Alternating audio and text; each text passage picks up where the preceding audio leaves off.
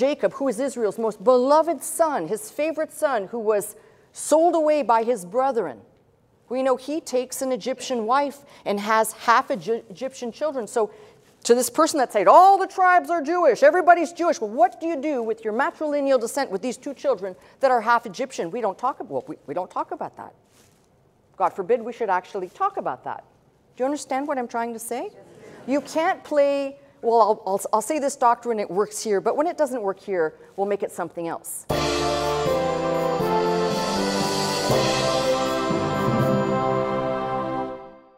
You're going to hear me talk about this. I've put this up here. Uh, in the table of the family tree, let's call it that, table of nations, you've heard me talk about Eber and how we get Hebrew, which is also in antiquity Ibiru, Atbiru, but I'll need to teach on this because we know that the people that were identified as a Apiru are not one singular people, okay? And that gives credence to something else. If they're not one singular people, we may find that as you follow the line, we're only looking at this line from, from Eber down to Abraham to Isaac to Jacob to show the children of Israel. But I've said to you that anything below this line, even though it bifurcates beyond, we'll call it the seed line, everything here could be Hebrew. Everything that stems underneath as Eber is at the top, and you might say, well, it doesn't follow the line, doesn't matter. That's in your family tree. So when we talk about this, it's not a singular people either. Just like I tried to show you the problem of when we talk about the Hyksos. And there's a, there's a huge amount of confusion there as well. These are people that were in Egypt uh, in a period way before the children of Israel, uh, as we know them, were in Egypt's bondage, but yet they get conflated. Okay, so there's a lot to sort out here. And we are looking at not just what makes Judaism, Judaism, what constitute, who is a Jew? What is a Jew? Where does Judaism begin? And again, this is, this is based on fact. I'm not interested for the sake of presenting fact, I will have to tell you what some of the rabbis said and what some of the commentaries say, but we're interested in what's in the black and white of this book, period. So we'll also be looking at land, the promised land before, during the conquest, all the way to modern times. And this is complicated.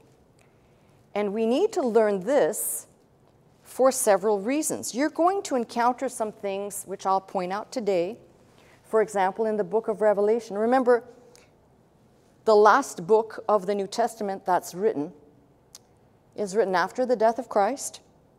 It is written while John is exiled on the Isle of Patmos, maybe somewhere between 90 and 100 AD. Okay? There are things in there that we will have to look at to understand for the end times. Who are these people being referred to? a lack of understanding of why some people are mentioned in Revelation will tell you that your, your scholarship for the earlier periods is inaccurate. So this is why it's important to get it right and to, to present it in such a light. So we have customs and traditions within Judaism that have their own story. They need to be told. I get that. But for example, I mentioned this uh, now probably a couple of weeks in a row, and I'm going to show you today the subject of what's called matrilineal descent. You've all heard Jewish people will say if the mother's Jewish, the child is Jewish regardless of the father. If you go to their sacred writings outside of this book, and we'll talk about this as well, you are hard pressed to find any scriptural evidence to support this. So I'm okay if somebody says, yes, the rabbis made it up at this date, and we all agree that that's what happened, but please don't make that the absolute law of everything, because if you do, again, to the person who wrote this wonderful post on my site, you have a problem right away. And it's a glare, I don't need to get complicated.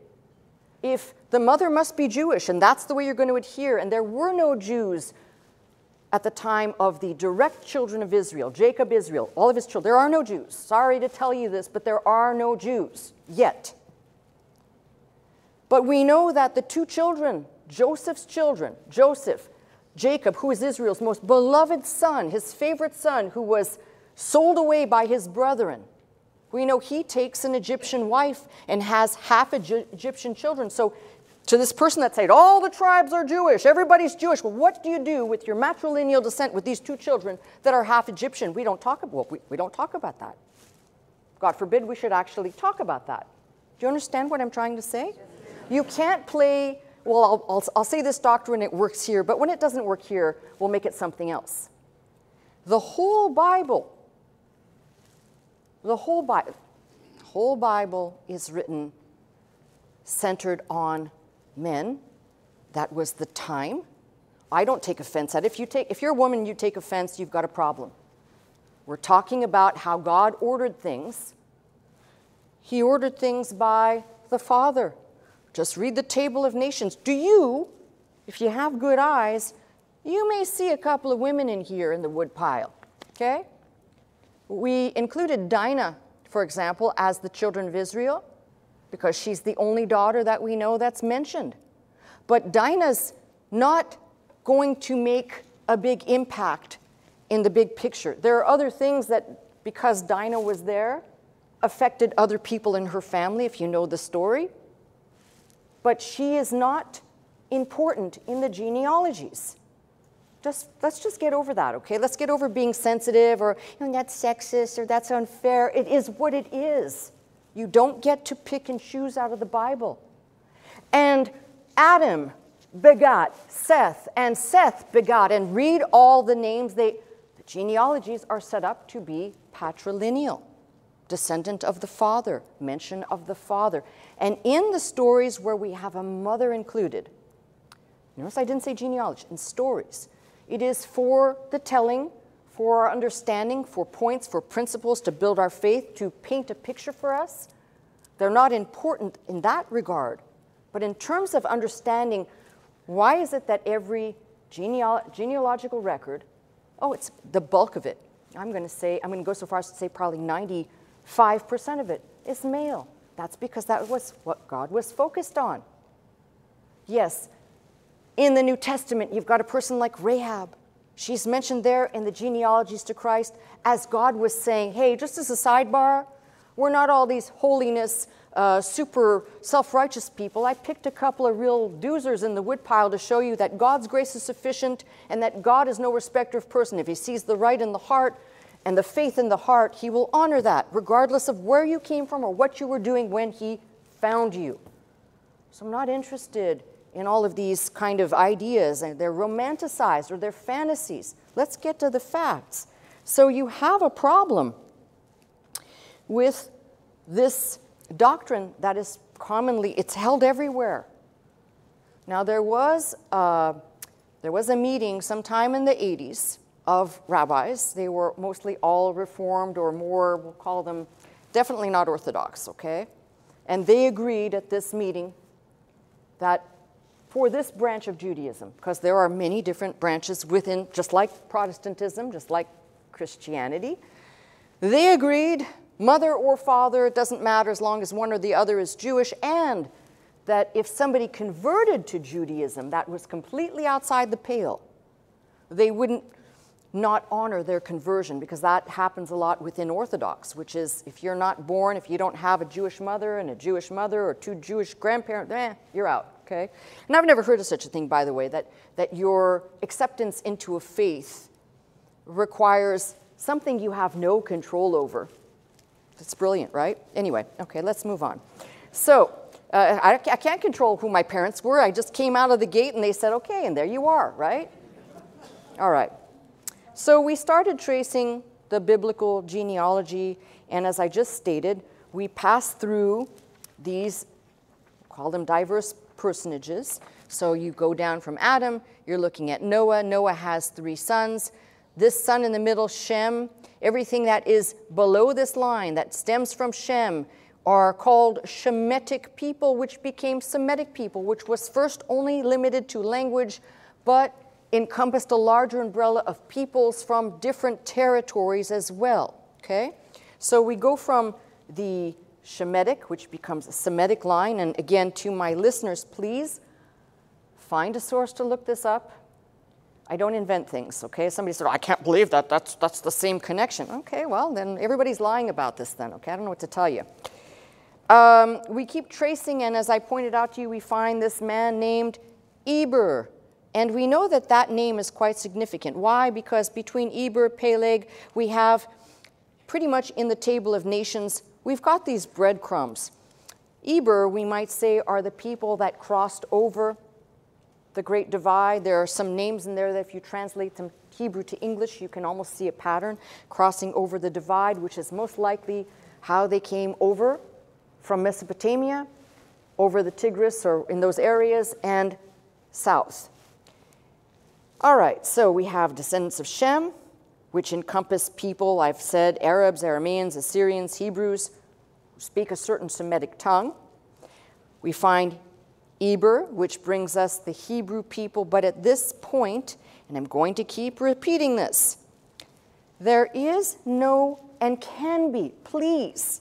I'm asking you, please, to listen to every single word I'm saying. There can be no Jews or Judaism. Minimally, we know that the word Jew comes from Judah, Yahuda, Yahudahite. So there is no way that Judaism existed prior to the birth of Judah, but it doesn't start with the birth of Judah. Judah is born, and if you read the history of that fourth son of Jacob Israel, you find it's quite colorful. Okay? And then Jacob, before he dies, he basically pronounces most, some of them are blessings and some of them are just statements of fact uh, upon his children. So Judah is given a special blessing in that they will basically, the scepter shall not depart until Shiloh, which for people who study the Bible know that basically from the tribe of Judah will be people who will be kings, who will reign, including the King of Kings, came out of that tribe. So there are certain things that we look at, as I said, breadcrumbs, but you cannot I'm sorry, even if you don't understand what I'm saying, just the nomenclature of Jew, Judaism, Jewish, which are English words, the Hebrew, Yahuda, Yahudahite, even the, the name Judith is a cognate of Judah. But none of it, there is nothing above here that bears that nomenclature, that name. There's nothing above here that is some special celebration. So I open up a book that says, Abraham, Jew and friend of God. I'm sorry, that's what's driving me crazy. And then people just believe it. That's the Santa Claus of the Old Testament, I guess, and you just got to believe it, right?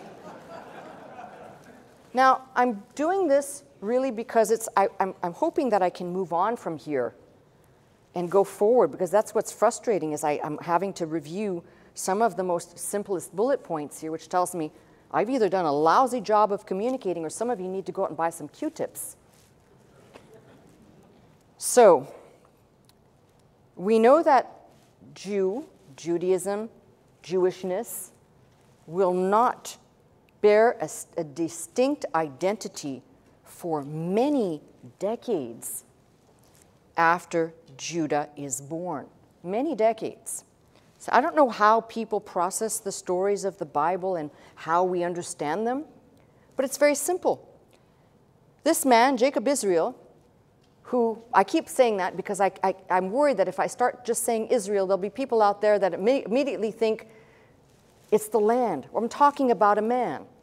His name was changed by God. He wrestled with the angel of the Lord. Your name shall not only be called Jacob, heel catcher, conniver, but Israel a man or prince that walks with God or God governed. You're going to go from what you were to what I say you are, okay? So there's a name change there. And we know, for example, and I've covered this, Abraham came out of Ur of Chaldees. Look at Abraham. Abram could not be a Jew. There is no Judaism. He can be a Hebrew. Yes, he absolutely can be a Hebrew. He could be a Semite but he cannot be Jewish. It didn't exist. Good Lord. Okay. Hopefully, claro. ¿Sí? Yeah. Milagro. Que milagro. All right. So, the thing that I was alluding to is the fact that Jacob Israel and his whole family will go to Egypt. They will rediscover Joseph, the favorite son, who basically saves Egypt from famine. And this is where I want to keep going at this.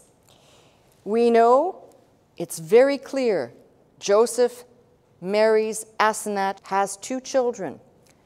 Jacob Israel will adopt these children, take them as, as his own, and they will bear the name children of Israel, but they are half Egyptian and half children of Israel clan, if you want to call it that, Joseph.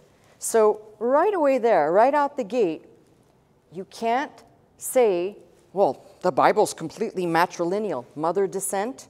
First of all, there was no Judaism at this time, but even if you were going to make the argument, say everybody was, I just showed you here are two half heathen children. Okay, all right. So let's keep going. So we have uh, this problem, again, with the children of Israel moving into the land. And again, I, I really ask, even for people who have been here for a long time, try and not make this one massive event. They went into Egypt and they were prosperous. They lived in the land of Goshen. They were prosperous. They had abundance. They lived like royalty. Remember, Joseph saved the land, so Pharaoh basically said, Take what you want, it, until they became so populous. Now, that would have taken a couple of generations. Even if you have banged out 10 kids at a pop per, per marriage, that'd take a while to become a very populous people. So don't make this timeline. They, they went to Egypt, the famine hit, then they were there enjoying the, the, the splendor that Joseph provided, and somehow you, you condense this all to a small window. It's stretched out. And as I said, there may have been two exoduses because the Hyksos, which I believe may be actually, from what we know, there's good reason to believe that that is Jacob, Israel, and his first family. And then there is, and these Hyksos, it says, were driven out of the land. And we have, we have the record that says they died there. They died in that land. So maybe it's their offspring. I don't know.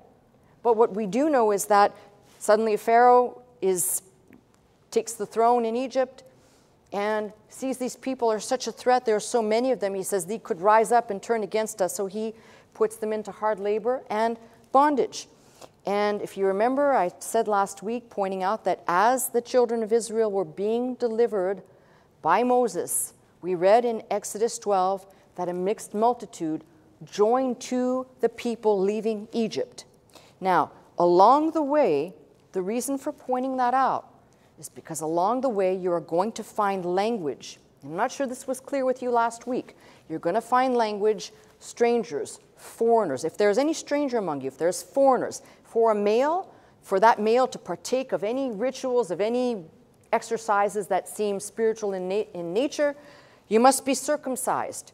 And it doesn't really give any express instructions for women strangers, but I guarantee you there were women strangers. All you've got to do is look at Moses' wife. He marries Zipporah, who is Jethro, the priest of Midian's daughter, and we know that they were not part of this Hebrew band, if you will. They are basically traveling, wandering peoples of the desert, and they fit under, they could be Semitic people, but they fit under an Arab nomenclature. So that means that when Moses had Gershom and Eliezer, these are half Hebrew, half Arab. This is the point I'm trying to make this book. If you want to read it like you're reading like a child might pass over and embellish and not pay attention to the details, you do that. But if you're interested in really putting the whole picture together, it is through this whole book you will uncover they did not separate themselves from the stranger. God said, don't take foreign wives or foreign husbands. And it wasn't because God was some weirdo. He didn't want them intermixing for one primary reason. The primary reason is not for the seed to remain pure. The primary reason is because God knew in a heathen universe, people worshiping pagan gods, the likelihood, the evil that's in us, we, are, we have a bent towards that, to be turned away from serving the living God, to serve these idols and worship and venerate them. Now, that's really at the top of the list. Second to that, maybe that God wanted to preserve the line, for sure. But here's the problem if you look at from when they come out of Egypt's bondage and follow their journey, we know that that first generation, God doesn't even let them into the promised land, except for Caleb. And I think there's just, it's a, it's a handful that will take the next generation in. But they are going to constantly be doing this, taking foreign wives. And I don't have to keep hitting this as hard as I do because all you've got to do is look at what brought about the destruction of the united kingdom of Israel when it was under Saul, under David, and then the last king of the united kingdom, Solomon. The kingdom split in 922 BC. Do you know why?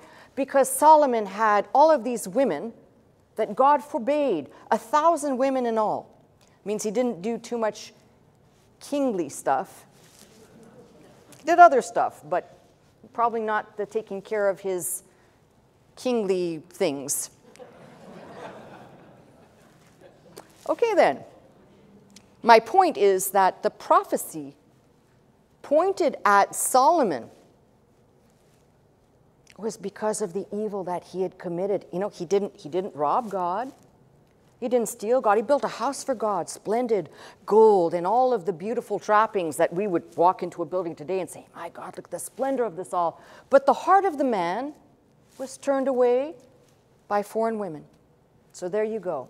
It never stopped. And this is why the kingdoms got torn apart.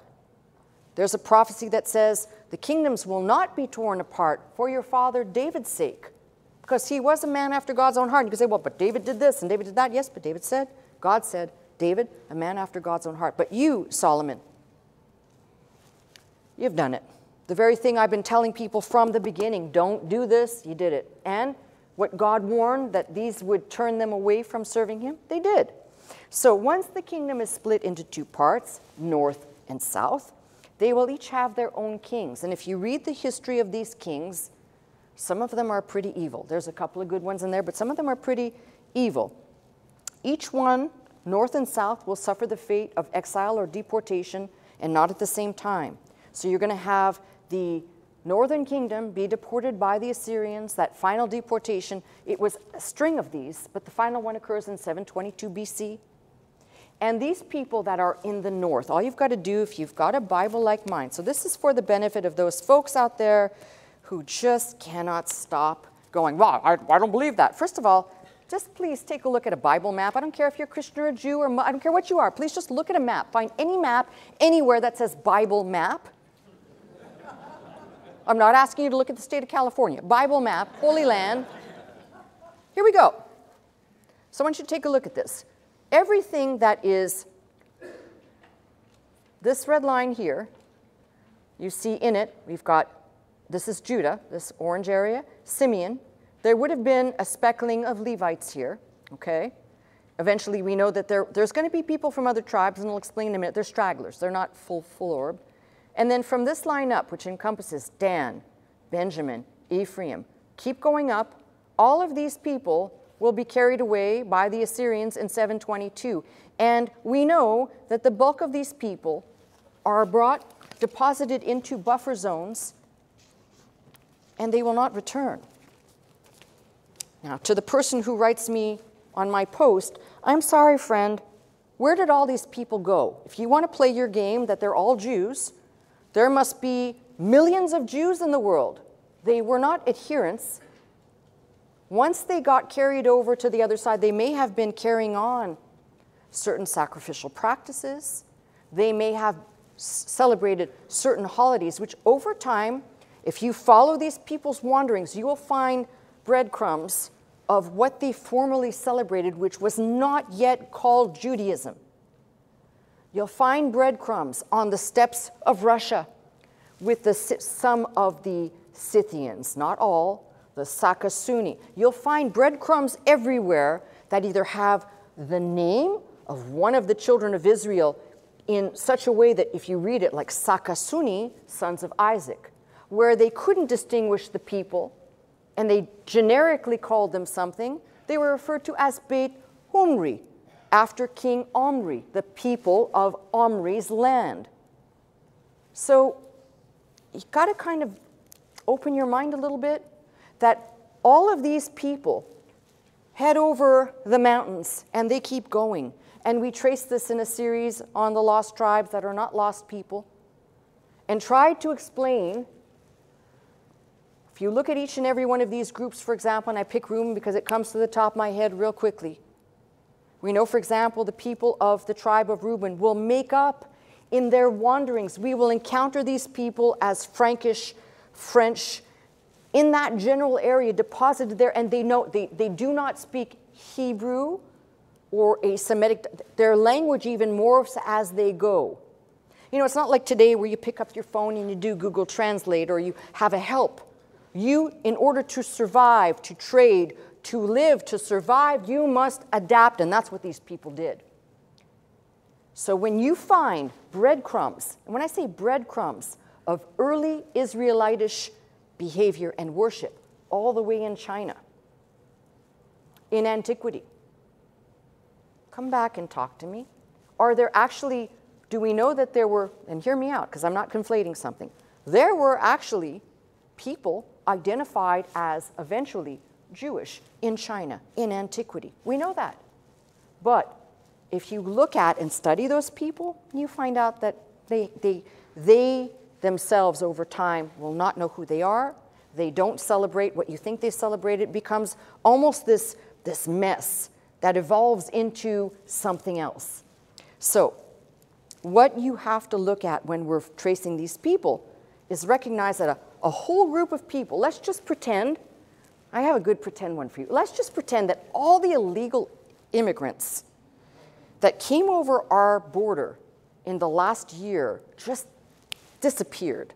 And those same people reappeared, say, in a country like Iran, would you go, oh, they can't be the same people?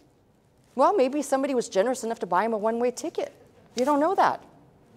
My point is, you can't, if you're going to engage in this type of, oh, it can't be, then explain to me where all these other people who are migrating over the Caucasus and around the Zagros and around the Black Sea, tell me where they came from at the very same time that the final deportations occur in succession. We can follow these people. Their names, the places that they actually put down as towns that they reinvented, renamed the town after one of their, back in the ancestry pile, a name that would resemble ever so slightly. So I'm sorry, but no, not all Jews. And let me just cut to one thing here which will make perfect sense. And you go check this out for yourselves. I think I showed you a couple of weeks ago how in the King James you're going to find Jew, Jewish. For example, I believe it's in 2 Kings or 1 Kings, I can't remember which scripture it is. I showed you that that should not be labeled that way. It should read the men of Judah or the Judahites, not Jews, because there are no Jews at that time. So, just for the sake of conversation here, and so everybody can be clear and you could say, at least she got that out. Judaism will be a product or a byproduct as we know it. All the, the breadcrumbs that came before do not make up Judaism. What does make up Judaism is when they come back from exile. Then it's perfectly clear. We can see it as clear as day. And I'm going to lead you through what happened so that you can put together the pieces, and then go back in between the Old Testament, the New Testament, and the intertestamental literature that we have available in, if you have a Septuagint, read it there. You will see what I'm talking about, and it all comes together and makes perfect sense. So the North gets deported, they do not.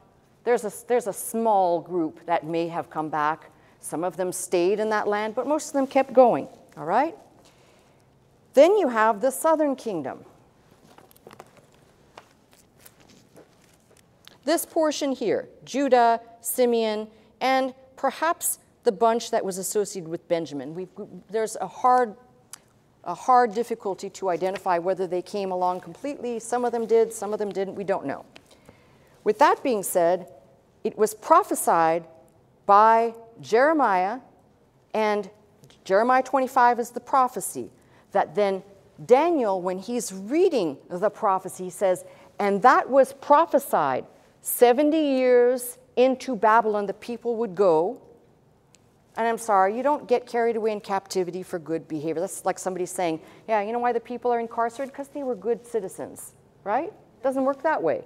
So God used the Assyrians and the Babylonians to mete out judgment for the people's failure to obey, both in seizing the land, which they didn't do, and intermarriage, which they kept doing.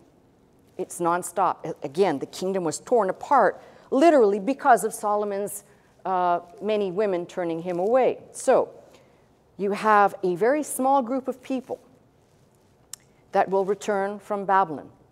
These are what will become the core, if you want, of what we would refer to today as Jews. Now, why do I say this? Because there's something that happens while they are in Babylon. And let me just go this way.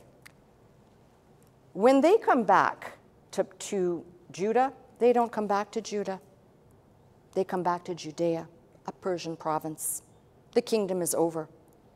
You know that, right?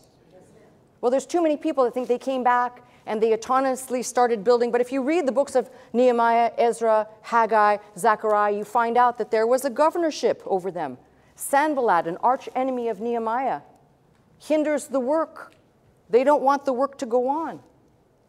That was the governor of that land, no longer called Judah, but called Judea, a Persian province. So, you know, here's another problem that I have. If you actually study, there are plenty of uh, monographs and books on this. And some of them are so precise that you'd be like, wow, you want to read that? That's like you want to watch paint dry. Because the titles of them are like, you know, uh, settlements in the Bronze Age or whatever, uh, pottery. And you're like, oh, that sounds exciting, right? But it's through those works that we understand that when the people returned, what they returned to was part of 20 satrapies of the Achaemenid Empire. Judea would be under a governorship. And this, as I said, points us right back to Ezra, Nehemiah, Haggai, and eventually Esther. In Babylon, it's very clear that something happened to the people. Remember, in Babylon, it's the southern people. These southern people, when they come back, although they may remember what tribe they might have been affiliated with, they come back more conglomerated, identifying more, no matter where you came from, as Judah. And they come back to Judea, but they begin to identify no longer tribal per se, although they will keep that identity when they come back as a people. That's where you see the emergence of something else. You know, you read in your New Testament about the Pharisees you ever wonder where they come from? Are they just uh, magic people? They just appeared in the New Testament? Phariseeism, the name Pharisee is sect, separatist, or heresy. These were not priest, priest people, but they were affluent people. But before they became known as Pharisees, these are the people that, when they returned from Babylon and the law was read, you remember what happened? The law was read, the Feast of Tabernacles was coming up. They kept the Feast of Tabernacles with super zeal, right? They were like so committed. And immediately after Tabernacles, this is from the books of Nehemiah and Ezra, they fasted to repent, an act of contrition. And there's a, a, a, place in one of those books that whatever, whatever God's word says, that we shall do. Religious zeal and specifically in the form which will morph into Judaism, takes place right there. So you've got a group of people that come back. Pharisees are not yet established. And by the way, Pharisees did not call themselves Pharisees. That name was given to people who were not Pharisees. They looked at them and said, oh, bunch of separatists here. And that name stuck to them. Josephus was a separatist, a Pharisee, but he never calls himself that. Somebody writing of him says he was. It was not a good title if you were in a different crowd. So, what you have are people that will begin to say, We will keep the law, no matter what, we'll keep the law. Well, that's good, except we know one problem no one can keep the law. No one can. They become religious zealots that morph into Phariseeism. And Phariseeism will take its launching pad and become what we know it from the New Testament in the Hasmonean period of Israel. So, why do I bring that up? Because the religious zeal couldn't last. You remember last week I left off with the reading in, I believe in Nehemiah, it was either Ezra or Nehemiah, showing you how you've got a list of what I call the perpetrators that married foreign wives, and the thing was, we'll put them away, we'll divorce them, we'll get rid of them. Of course, you know, that's brilliant. So you have kids now, what do you do with the kids? But anyway, okay, that's all great and moral. Sounds great and moral, right? We'll, put, we'll, we'll just get divorced and we'll start all over and it'll be like nothing happened, right? It's great thinking right there. So why I bring this up is because they all said, yes, we will keep the law, we will put away our wives, but we know what happened. Nehemiah is recalled to Susa, and we have good evidence to show that they went right back at it again and they started intermarrying again and they were not keeping the law. And the religious zeal amongst that community waned, it started to wane. So you've got a separation now between the zealots, the religious zealots who will become known as the Pharisees, and the people that said, We will do thus and so, but they couldn't keep their vow. Now, I want to show you something else because this is part of showing a problem that we will address in upcoming messages. So if you turn to Nehemiah 9, I want to show you something that's quite problematic. For all those people that say, and the people lived in the land and it was their land, and we argue about whose land is it anyway, I want you to look at Nehemiah 9.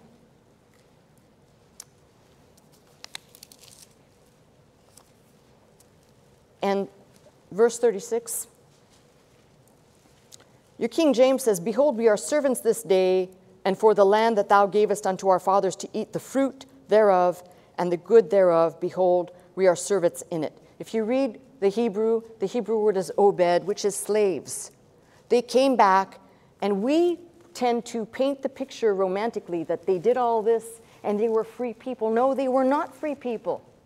They were still under Persian control, and that would remain so for about the space of 200 years until Alexander the Great in 332 conquered the then known world. He conquered Israel, what we call Israel, Egypt, and Syria. And then it was occupied for a small space by Alexander until he died. And then you've got his generals who argued bitter, bitterly over who would get what. So between the Seleucid and the Ptolemies, the Ptolemies in Egypt, the Seleucids, they split everything up into four parts, four generals, took their territory. So then it, it basically went under a Hellenistic rule for a time. And if you keep following the history from the point I just told you, they came back, it's a Persian province of Judea, no longer Judah. Then we have Alexander the Great, then his generals, and then the crowning one will be um, the Roman general who basically walks in 36, 37 BC, Pompey, claims the land for Rome. The occupation of that land will go on. So, from, uh, just hear me out, from the time they came into the land, which you encounter that, say, in the books of Joshua and Judges till the time they come back, whatever that timeline is. Let's just hypothesize. Let's say it's less, it is certainly less than a thousand years. Or maybe it might be seven or eight hundred years. I didn't do the math, it's just. That's as long as they literally occupied the land and in disobedience at that because they didn't clean the land. Even though Nehemiah, they'll read and they'll say, yes, and they drove out the people. They didn't. We have the record. They did not drive out the people. They intermarried. So let's say they were in the land for seven or eight hundred years, but prior to that, there were people living there. And after that period, it will be occupied from the time they come back. That timeline is 5, 538 so from, from the return 538 BC all the way until 1920 when it was under British mandate. 5, I'm sorry, 538, I think. to the British Mandate of 1920. They didn't occupy or own the land or claim the land. So you tell me when, and I'm just going to put this out there, and you can, you can think about this. God said that's the land, but there, there are requirements to take it. They didn't meet those requirements. They acted in disobedience. God was like, okay, I'm almost done. I'm almost done. I'm almost, I'm done. And then the land will be occupied. Persians have it, a whole successive wave. The Mamluks, the Ottoman Empire, the Muslim conquest. There was a time, the Crusaders occupied Jerusalem for a time, very short period. But if you look at the history, it is impossible for anybody in this modern age. I'm, I'm against terrorism, but it's impossible to make a claim about anything when the history of this land is so muddled to begin with. You know, I want you to step outside of all the political and all the religious, and I want you to think of this country for a minute. We have documented that before the British and before the French, there were other people here. Read uh, Barry Fell's book, America, BC. There were other people here.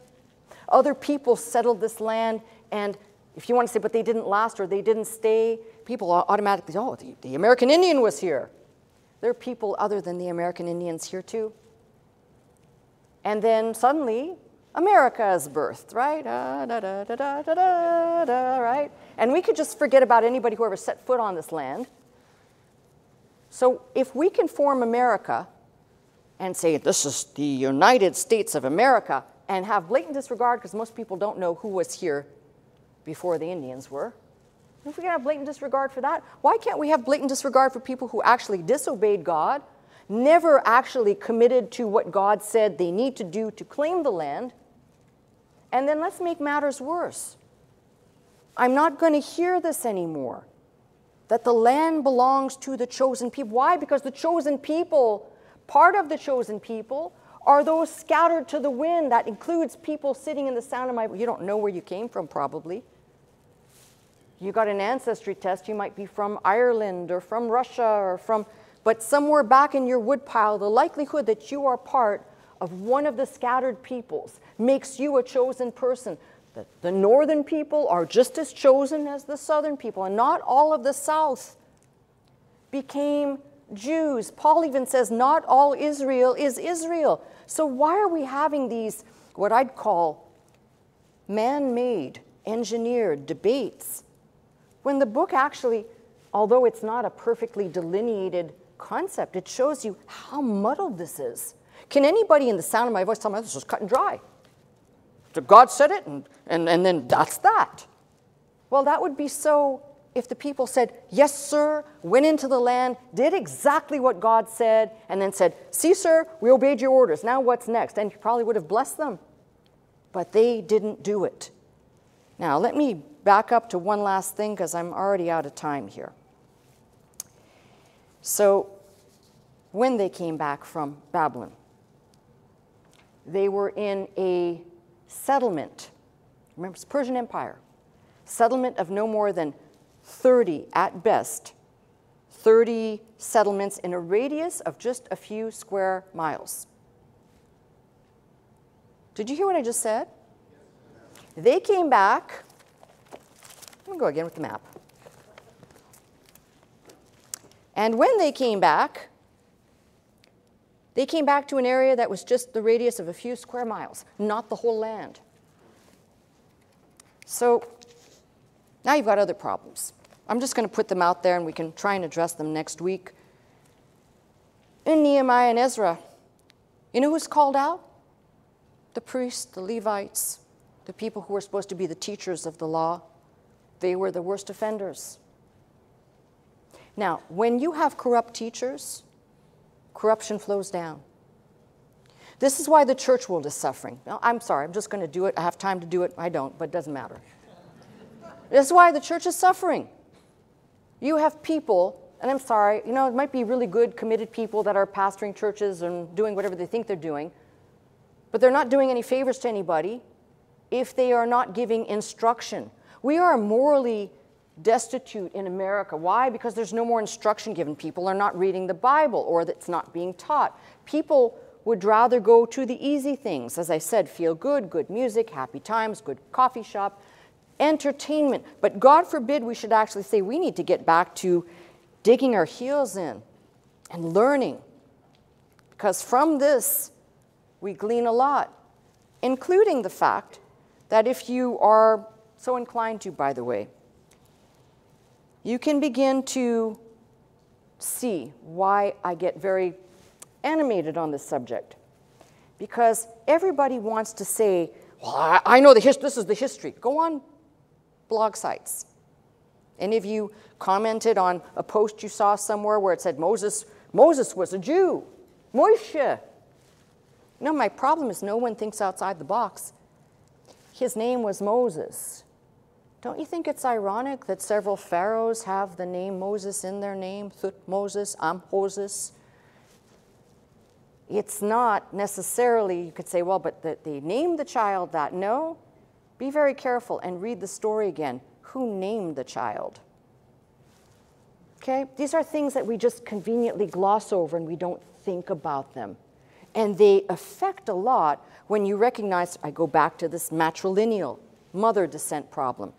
It will affect a lot because if you know the history of what's behind here, you also know that in 70 AD, when Jerusalem fell, there was a mass massacre that happened.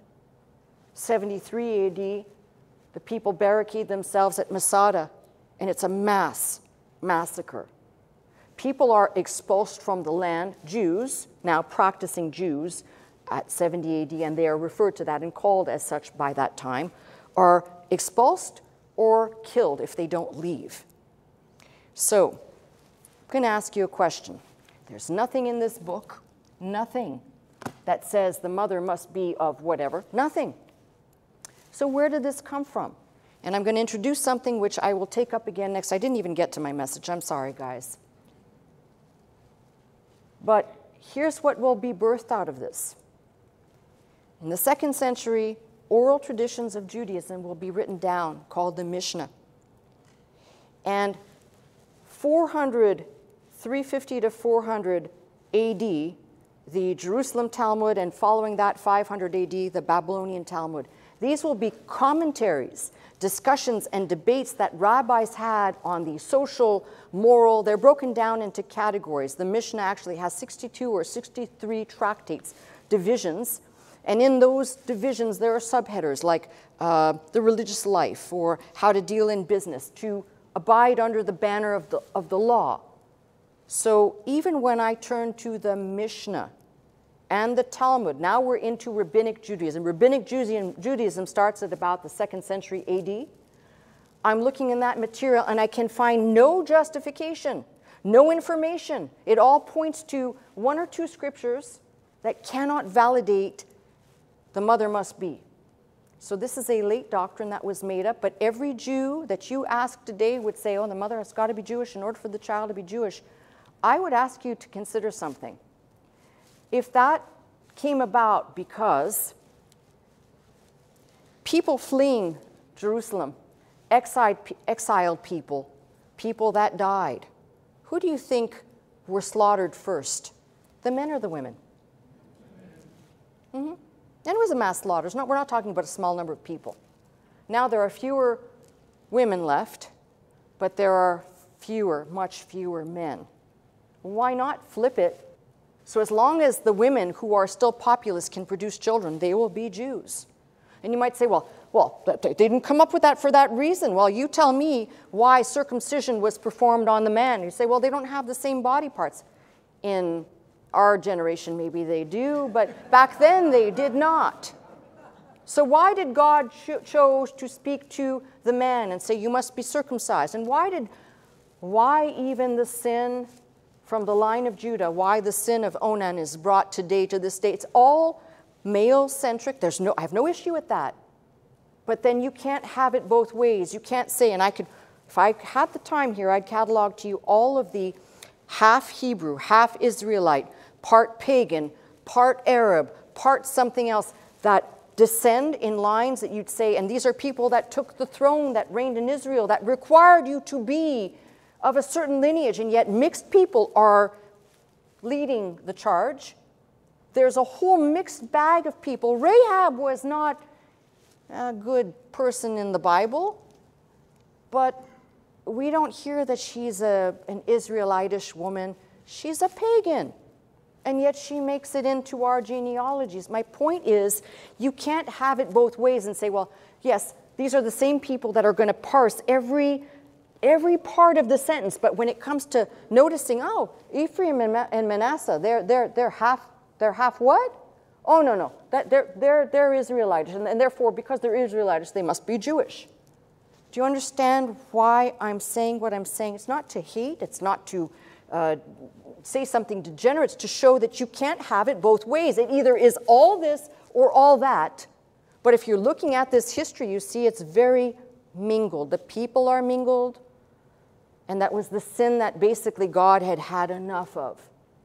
Now, if uh, somebody wants to twist my words for today, go ahead. But I think it's abundantly clear. The point is, you can't make a doctrine hundreds of years later and be dogmatic about it and say that's that when the history of a people that's recorded in this book, and I don't want to hear about somebody's oral tradition. I've got an oral tradition, that's why I use a toothbrush. I don't want to hear about somebody's oral tradition because what's written in this book is what's going to matter first and foremost to anybody, Jew or Christian. And the only thing I find that the rabbis pointed to, they point to a passage that talks about if you have a slave woman that marries a slave man because the slaves belong to the master. And somehow they extrapolate from that because that passage suggests that it's okay with the master, that somehow that's the matrilineal passage, or Deuteronomy 7, which says just don't, don't marry your sons to these daughters or vice versa. There is no, there's no backing it up. Now, if you told me, if you were just honest about it and you said to me, this is, this is what we do in our religion, and there's no, there's no scripture for it, but this is what we've decided, and you're honest and upfront about it, and you can just tell me that, I'm good with it. But you know how many people walk around? We always only hear the story of somebody saying, oh, my mom's Jewish, so therefore, blah, blah, blah. But you know how many people walk around who actually have a reverse problem?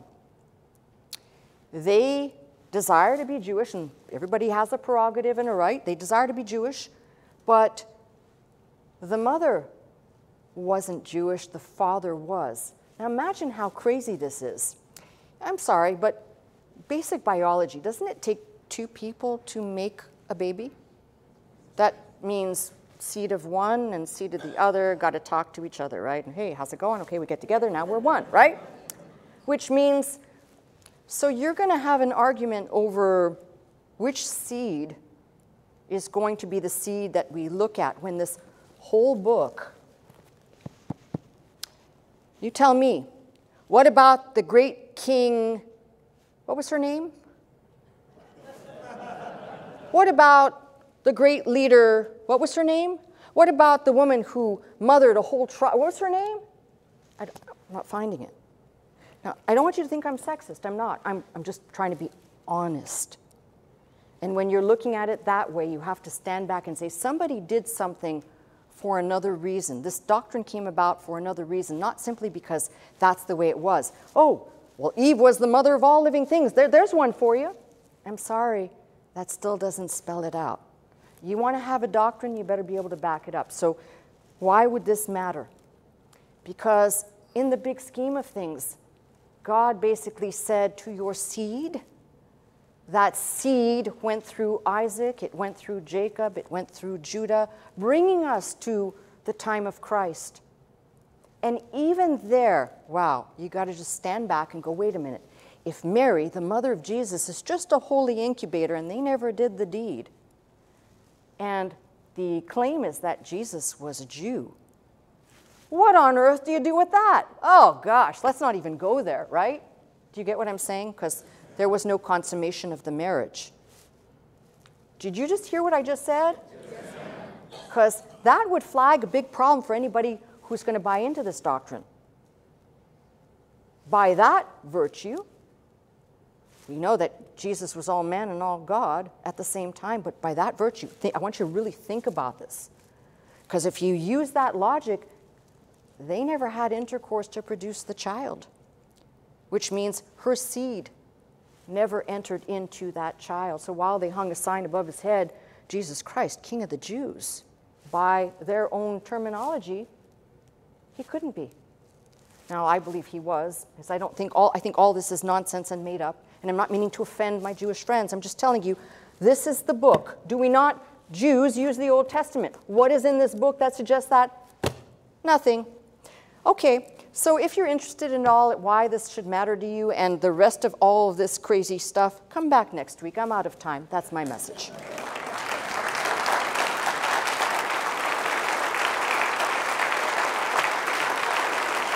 Folks, if I appear if I appear frustrated, it's because I am. Because I'm so trying to sort this out with there are no agendas here.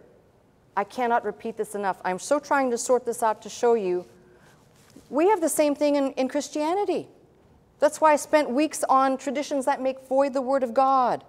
Call no man father, yet this is what the Catholics do. To the Protestants, we are not here in this church, but many Protestants succumb to that whole name it and claim it thing, which is a corruption, a perversion, the prosperity doctrine, the, um, you know, I could keep going. Every religion has these, but the ones that affect us, we should look at. We should better understand that maybe the people that we think identify as something are really not what they are. And maybe the people we never thought in a million years are. You find out, wow, that's a mind blow right there. In fact, I'd strongly encourage anyone who's in the sound of my voice to read the Apostle Paul's writing out of Romans 9 through 11, which basically tells you in a nutshell when he explained this, and he was a Jew, and he was of the tribe of Benjamin, he was a Pharisee, and he explains it so perfectly. We are not to hate on our brothers and sisters because they will be grafted back in. That's the whole point. I started off talking about the two sticks out of Ezekiel Judah and Israel, the north and the south, the peoples of the world versus the people who settled in that land who identify as true Jews. Do I make a distinction? Yes, because of what's in the book of Revelation. Ever read the book of Revelation where it says those who say they are Jews or not, or the synagogue of Satan? There is a reason why John wrote that. To understand that, you've got to understand all of what comes before. And to the people who like to try and make it something um, where we're attacking people, we're not putting together a correct picture of who we might be, where we came from, and who we will encounter in the future. To me, it's pretty important. I want to know. So if you're not interested, don't come back next week. If you want to know, be here. That's my message. Good day, folks. You've been watching me, Pastor Melissa Scott, live from Glendale, California at Faith Center. If you would like to attend the service with us Sunday morning at 11 a.m., simply call 1 800 338 3030 to receive your pass. If you'd like more teaching and you'd like to go straight to our website, the address is www.pastormelissascott.com.